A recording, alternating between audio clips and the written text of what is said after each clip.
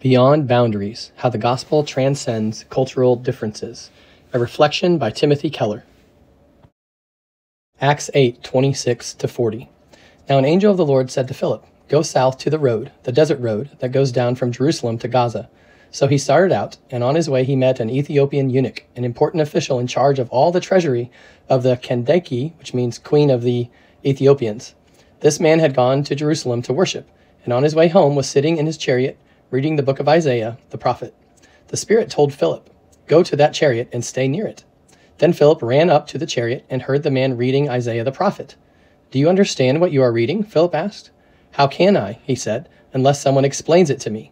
So he invited Philip to come up and sit with him. This is the passage of scripture the eunuch was reading. He was led like a sheep to the slaughter, and as a lamb before its shearer is silent, so he did not open his mouth. In his humiliation, he was deprived of justice. Who can speak of his descendants? For his life was taken from the earth. The eunuch asked Philip, Tell me, please, who is the prophet talking about, himself or someone else? Then Philip began with that very passage of Scripture and told him the good news about Jesus. As they traveled along the road, they came to some water, and the eunuch said, Look, here is water. What can stand in the way of my being baptized? And he gave orders to stop the chariot. Then both Philip and the eunuch went down into the water, and Philip baptized him. When they came up out of the water, the Spirit of the Lord suddenly took Philip away, and the, and the eunuch did not see him again, but went on his way rejoicing. Philip, however, appeared at Azotus and traveled about preaching the gospel in all the towns until he reached Caesarea. The book of Acts records the earliest beginnings of Christianity following Christ's return to heaven. It teaches us about the character of the earliest Christians and how the power of God overturned the world. And the more I consider this story of Philip and the Ethiopian, the more I regard it with amazement. This passage brings to mind a single line in a poem by George Herbert, a 17th century poet. It goes like this Bibles laid open, millions of surprises. No matter who you are, the Bible will surprise you. No matter what your culture or class is, no matter what preconceptions you bring to the Bible, it will confront them. This is a surprising, category shattering text. I'd like to look at it through three different principles it teaches us for starters, it tells us about the inclusivity of Christianity. Secondly, it tells us about the exclusive, exclusivity of Christianity. Finally, we learn the reasoning and grounding for both. Most people say, well, you're either inclusive or exclusive. But the fact is that Christianity is radically inclusive and radically exclusive. It can be both because it is both. The inclusivity of Christianity. We're told the main figure in the story is an Ethiopian eunuch. At that time, Ethiopia referred to the Upper Nile region of Africa, from as far north as Aswan and as far south as Khartoum. Today, we call it Nubia. Furthermore, he was a eunuch. He had been castrated. For people in his position, that was common. If you weren't part of the royal family, but you were being groomed for an administrative for administrative leadership in government and were in close proximity with royal family members, the price was castration. It removed temptation on the part of the administrator and suspicion on the part of the royal family, but at a terrible cost. Right away, we notice two things. First, how different the two people are in this story. Philip was a middle class Jewish man. This man in the chariot was black. He was from the outermost part of the known civilized world. He was sexually altered. From the view of Philip's culture, this man would have been considered a racially different, sexually altered barbarian, as different from Philip as possible.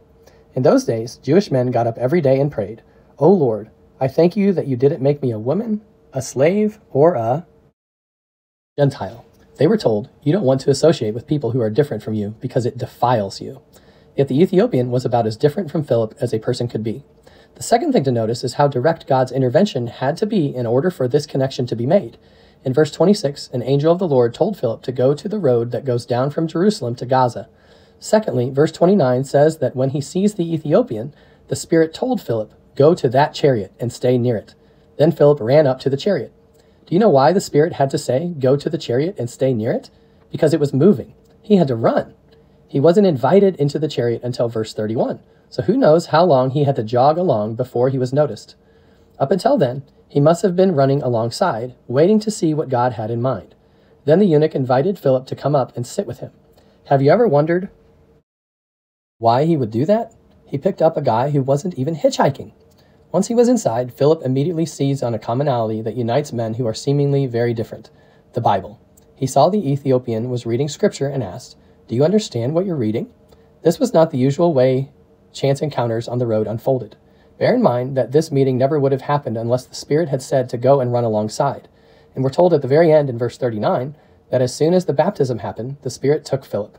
We don't know quite how he did it, but it's a word that literally means seize. The Spirit seized Philip and took him away. By every measure, this was a divine encounter. Every single aspect of it happened because of divine intervention. We can learn two important things from the way this was set up. First of all, the Spirit of God strongly desires for racial barriers between people to be surmounted. It's one of the most obvious themes throughout the book of Acts. Over and over again, the Spirit stirs Christians to break barriers, get out of their comfort zone, and embrace people of different races, cultures, and locations. The Bible talks about the Spirit being grieved if we don't love what God loves. This must mean it grieves God when Christians of one race show disdain for or ignore people of other races, temperaments, classes, and cultures.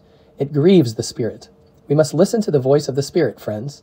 Here it is Philip, run up to that racially different, physically altered man you would ordinarily have nothing to do with, and stay close. That's the trajectory of the Spirit in the whole book of Acts, and it's still the trajectory of the Spirit.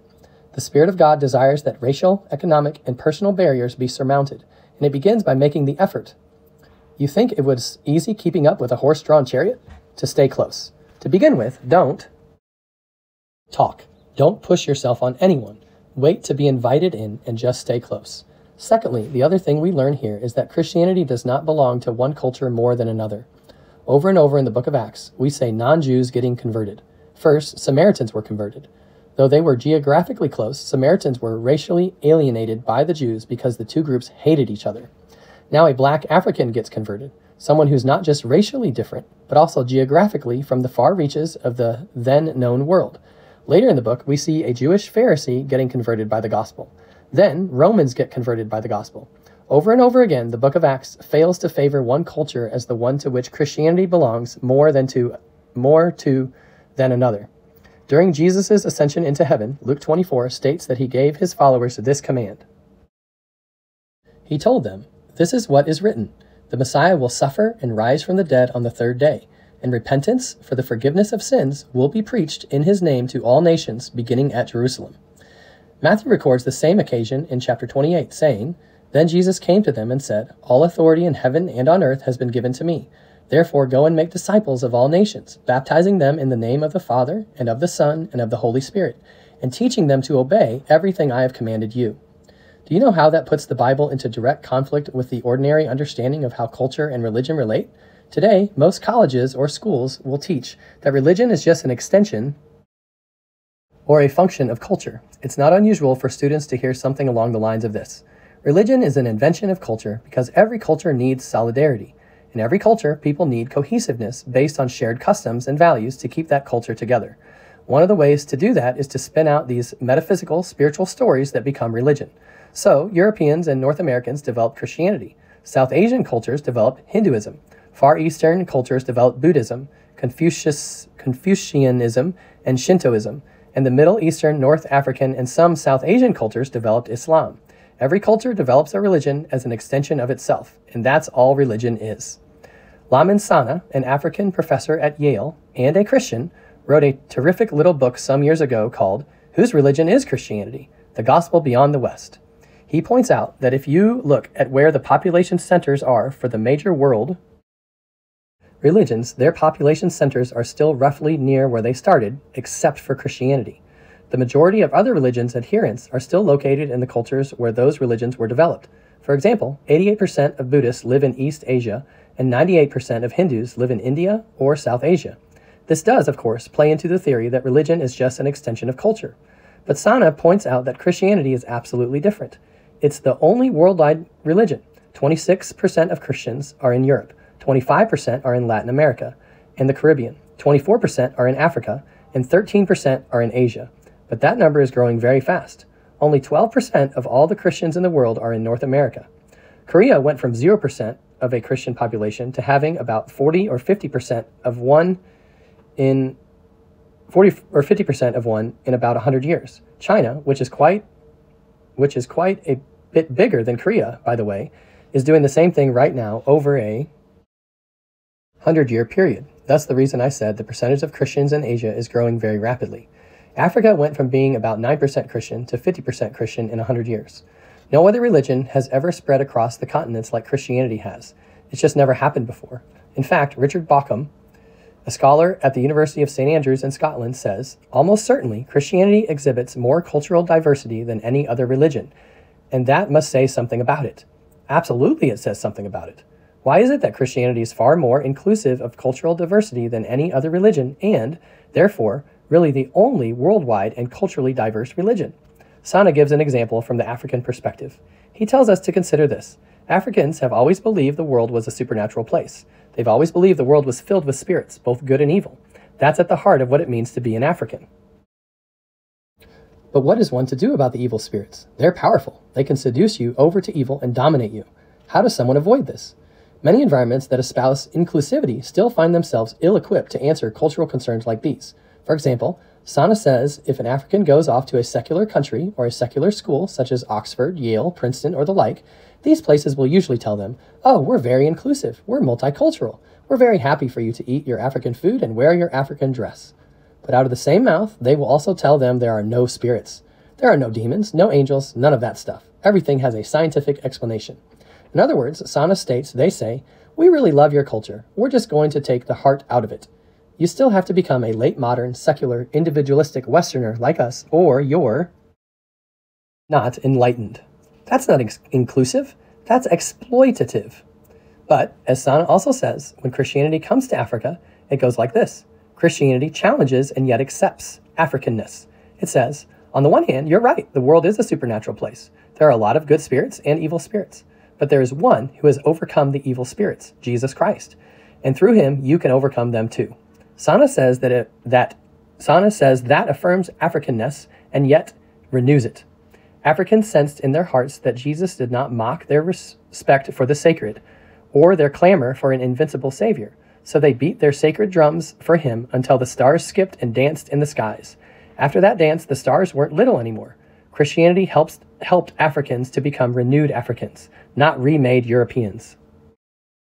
In other words, Christianity is far more inclusive than secularism, which always talks about inclusiveness. Christianity does not just belong to this culture or that culture. It's not an extension, function, or product of culture. It comes down from above. It stands over all culture, and it's the job of the Holy Spirit to recreate Christianity in the soil of every culture. Christianity is, therefore, the most inclusive of all religions, even more inclusive than secularism. The exclusivity of Christianity. This point is shorter, and I'll tell you why. If you live in an environment that values inclusivity, you're probably getting this good feeling from all this talk of inclusion. Just hearing the word inclusive is enough to make the average Manhattanite feel warm and fuzzy inside. To actually see empirical evidence that Christianity is the religion most inclusive of cultural differences just has a nice feel to it, doesn't it? But if you want to understand why Christianity is more culturally inclusive than secularism or than other religions, you need to see how it's exclusive. The reason this is a short point is that it probably doesn't take as many arguments to make the case that Christianity makes exclusive claims. You can see them right here. For example, the Ethiopian eunuch was reading the scroll of Isaiah when he asked Philip, What does this text mean? in verse 34. Obviously, Philip did not respond in a postmodern, literary, theoretical way. He didn't say, You have to create the meaning of the text for yourself. You have to decide what is right or wrong for you. I can't tell you. He told him that Jesus is the hermeneutical and interpretive principle that makes sense of everything in the Bible. He told him the gospel. Then the eunuch asked, Why shouldn't I be baptized? By asking to be baptized, the man proclaimed his conversion and his faith in Jesus and his intention to identify with the people of God. Baptism means one way of life is over and a new way of life begins. Baptism means I stop believing that and I start believing this. I stop living that way and I start living this way. He has converted. He wasn't told, well, you have to serve God and find God in whatever way is most meaningful for you. So while you can make a case that Christianity is the most culturally inclusive religion out there, you can also say it's the most exclusive religion. If it's more inclusive than other religions, it's more exclusive as well. How's that? Well, every other religion has a founder who is basically a prophet or a sage or a wise teacher saying, here's how to get to God. The image often invoked is that every religion is a different path up to the top of the mountain, but we're all going to the same God. Buddhists say the way to God is to follow the Eightfold Path, and Muslims say the way to God is to practice the five pillars. They might seem to teach different practices, but allegedly they're all going to arrive at God at the top of the mountain, each through their own effort and adherence to various teachings. But they're different paths to the top. They're different paths to the top, but everyone has to hike to the top by their own effort. Except Christianity. As we often say, Jesus Christ does not say, I'm here to show you how to find God. Jesus Christ says, I am God, and I've come to find you. You'd never get to the top of the mountain by yourself. I've come because I am the God you're seeking. If that is true, then Christianity is either better than the rest of the world's religions or it's worse, because then Jesus would have told the world's biggest lie. It either has to be better than the rest or worse than the rest. It can't be anything else. Isn't this ironic? Isn't this paradoxical? It means Christianity is the most worldwide, the most culturally diversive, the most inclusive culturally, yet most exclusive in its claims. How does that work? The reason for both. Understanding this supposed paradox comes down to understanding this story, and the way you get into the heart of the story is asking a question. One of the best ways to understand a story is to ask it the right question and then let it answer. The question we'll ask is this Why is the Ethiopian reading the scroll of Isaiah so intently? This man had gone all the way from his kingdom to Jerusalem to worship at the temple. Why in the world would he do that? First of all, let's think about who he was. He was head of the Queen's treasury. He had virtually reached the top. In today's terms, he was the CFO of his country. In fact, he had more power than the United States Secretary of the Treasury has today. He had power and success, but let's remember that he made a huge sacrifice by becoming a eunuch, and this was in a time when one's descendants were of critical importance. The ancient cultures were not as individualistic as we are today. Today, most people measure their self worth mainly by their own achievements, but back then, self worth came from the standing of your family. You only had honor and pride if your family's standing was good. You had no way of having any kind of legacy unless you had children. Your sons and daughters were your legacy. Yet here was a man who sacrificed all of that in order to get power. He had given up the idea of having a family in a completely family dominated culture. Among other things, that meant loneliness. So, why would a man take a thousand mile journey to leave his culture, its religion, and his post? This was a position, by the way, that could have been jeopardized by taking a thousand mile, year long trip. The possibility of someone usurping your place would have been pretty good, not to mention how dangerous such a lengthy journey could be. The answer is there must have been an enormous emptiness in him. His own religion couldn't fill it. All of his power and success couldn't fill it. Why else would he get interested in the God of the Bible? Wonder if there was something for him in Jerusalem and go all the way to the temple. Here's one thing we know. When he got to the temple, after all that travel, all that sacrifice, they wouldn't have let him in. The temple and all its worship was regulated by Mosaic law. The Mosaic law, which is still a little bit of a puzzle to modern readers, had all of these rules about who could get into the temple and worship God and who could not. For example, if you touched a dead body, you were excluded from the temple for a certain amount of time. If you had mold in your house, you were excluded. Why? All of these rules were put in place to get a spiritual idea across. It was often missed, but the idea was that God is holy and we are sinful and shouldn't just walk right into God's dwelling place without being cleansed. Something needed to be done about sin. All of those rules and regulations were like visual aids to try to get that across. But some of the rules permanently excluded people. One of the rules was that those who had been castrated could never go in and worship God. By that logic, the Ethiopian likely went to all this trouble just to find himself excluded and left outside. You can imagine the disappointment. So, why does he still decide to pore over the book of Isaiah on his way home? Perhaps a clue lies in which part of the Bible the Ethiopian was reading. The text quoted in the passage is from Isaiah 53. So he was reading the chapters in the 40s and 50s called the servant songs.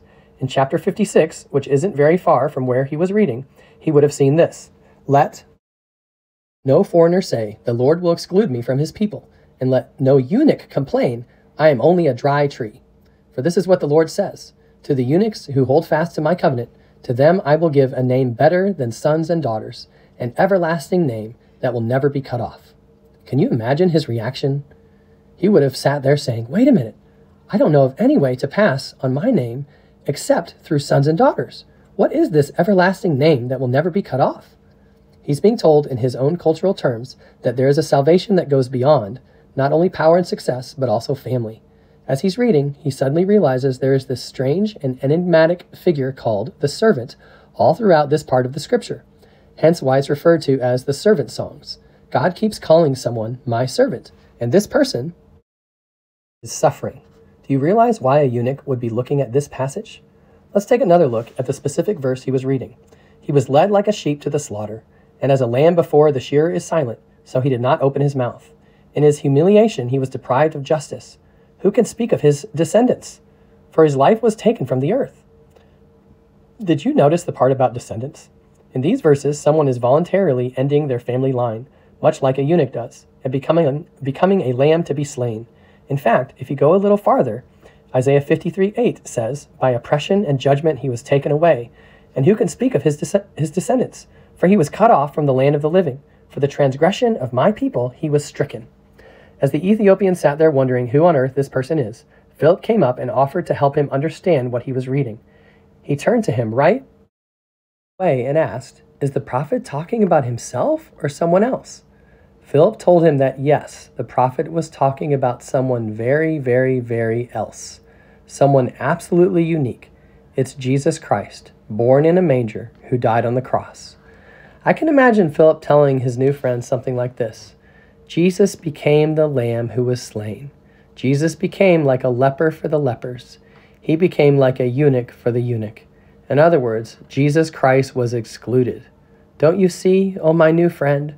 The Mosaic Law was just pointing to a spiritual truth. We're all like eunuchs.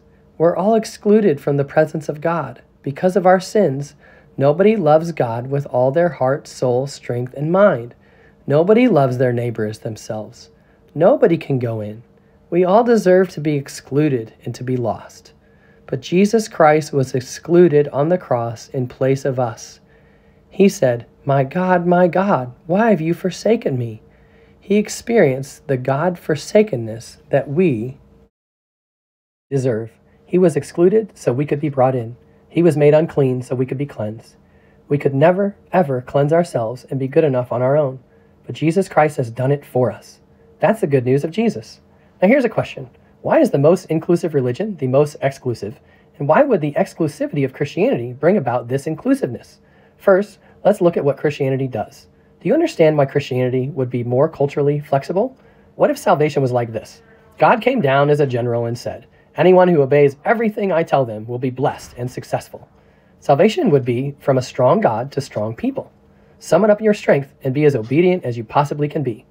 If salvation were only given to the strong by the strong, Christianity would be a religion of nothing but laws. You would want to be completely compliant because you're only blessed and successful if you're absolutely obedient. Christianity would even tell you what to eat and how to dress and everything. For you to become a Christian, you would have to completely leave behind your culture. That's not the salvation of the gospel. What is that salvation? The deepest revelation of the nature of God is on the cross. God's greatest glory is seen in how he was willing to lose all of his glory.